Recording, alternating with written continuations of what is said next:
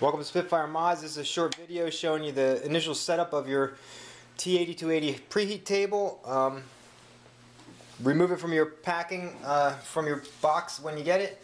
Remove the strips of packing elements from between the ceramic heaters. Um, set your rails. Make sure everything's uh, nice and snug. Check all the screws.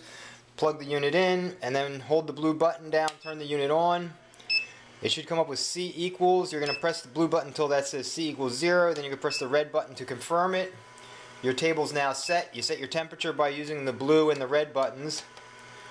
And then um, once that flashes, that confirms it. And now you're set with your temperature. Turn your plates on here. Turns your heater plates on.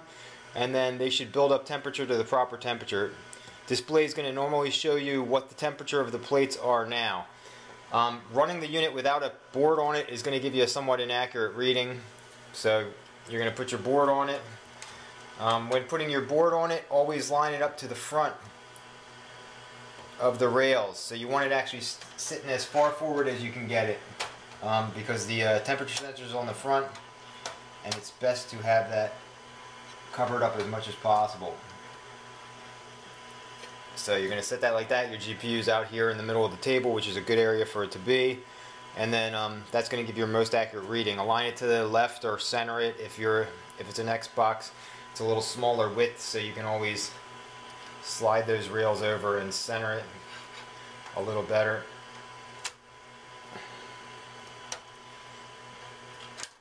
Um, once you're centered,